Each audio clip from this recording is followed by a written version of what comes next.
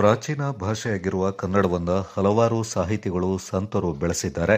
ಧೀಮಂತ ಭಾಷೆಯಾಗಿರುವ ಕನ್ನಡವನ್ನು ಉಳಿಸಿ ಬೆಳೆಸಬೇಕೆಂದು ಕಾವೇರಿ ಪದವಿಪೂರ್ವ ಕಾಲೇಜಿನ ಗೋಣಿಕೊಪ್ಪಲು ಪ್ರಾಂಶುಪಾಲರಾದ ಡಾಕ್ಟರ್ ಎಂ. ಬಿ. ಕಾರ್ಯಪ್ಪ ಅವರು ಅಭಿಪ್ರಾಯ ವ್ಯಕ್ತಪಡಿಸಿದರು.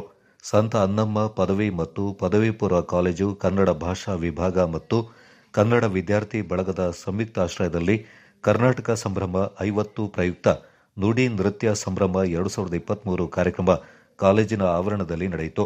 ಡಾಕ್ಟರ್ ಎಂಬಿ ಕಾವೇರಿಯಪ್ಪ ಮಾತನಾಡಿ, ಅಂದಿನ ಆದಿಕವಿ ಪಂಪ ರನ್ನ ಜನ್ನ ಹೀಗೆ ಹಲವಾರು ಕವಿರತ್ನಗಳು ಕನ್ನಡ ಭಾಷೆಯಲ್ಲಿ ಸಾಹಿತ್ಯಗಳನ್ನ ಕಾದಂಬರಿಗಳ ರಚನೆ ಮಾಡಿರುವುದು ಕನ್ನಡವನ್ನ ಶ್ರೀಮಂತಗೊಳಿಸಿದೆ. ಕನ್ನಡ ಭಾಷೆಯು ಪ್ರಾಚೀನ ಭಾಷೆಗಳಲ್ಲಿ ತೃತೀಯ ಸ್ಥಾನವನ್ನು ಪಡೆದುಕೊಂಡಿದೆ.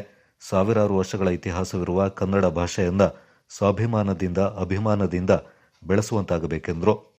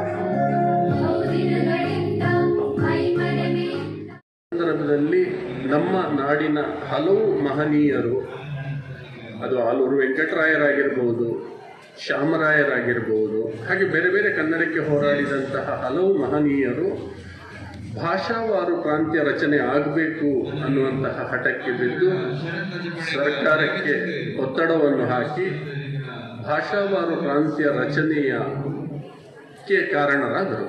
ಹಾಗೆ ಭಾಷಾವಾರು ಪ್ರಾಂತ್ಯ ರಚನೆಯಾಗಿ ಕನ್ನಡದ ಪ್ರದೇಶ ಎಲ್ಲ ಸಾವಿರದ ಒಂಬೈನೂರ ಐವತ್ತಾರರ ನವೆಂಬರ್ ಒಂದರಲ್ಲಿ ಒಗ್ಗೂಡಿ ಮೈಸೂರು ರಾಜ್ಯ ಅನ್ನುವಂಥದ್ದು ಉದಯ ಆಯಿತು. ಆಗ ಕರ್ನಾಟಕಕ್ಕೆ ಇದ್ದ ಹೆಸರು ಮೈಸೂರು ಪ್ರಾಂತ್ಯ ಅಂತ ಹೇಳಿಕೊಂಡು. ಆನಂತರ ದೇವರಾಜ ಅರಸವರ ಕಾಲದಲ್ಲಿ ಸಾವಿರದ ಒಂಬೈನೂರ ಎಪ್ಪತ್ತ್ಮೂರರ ನವೆಂಬರ್ ಒಂದರಲ್ಲಿ ಇದು ವಿಶಾಲ ಕರ್ನಾಟಕ ಅನ್ನುವಂತಹ ಹೆಸರನ್ನು ಪಡೆಯಿತು. ಅದೇನೇ ಇರಲಿ ಈ ಕನ್ನಡದ ಪ್ರದೇಶಗಳು ಒಗ್ಗೂಡುವ ಮೊದಲು ಈ ಕರ್ನಾಟಕದ ಎಲ್ಲೆಡೆಯಲ್ಲೂ ಕೂಡ ಕನ್ನಡ ಭಾಷೆ ಒಂದು ಇತ್ತು.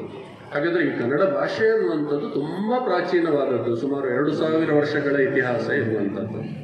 ಆ ಭಾಷೆ ಬೆಳೀತಾ ಬೆಳೀತಾ ಸಾಹಿತ್ಯ ಸೃಷ್ಟಿ ಆಗಬೇಕು ಹಾಗೆ ಕನ್ನಡ ಸಾಹಿತ್ಯಕ್ಕೆ ಸುಮಾರು ಸಾವಿರದ ಐನೂರು ವರ್ಷಗಳ ಇತಿಹಾಸ ಇದೆ ನಿಮಗೆಲ್ಲರಿಗೂ ಕೂಡ ಗೊತ್ತು.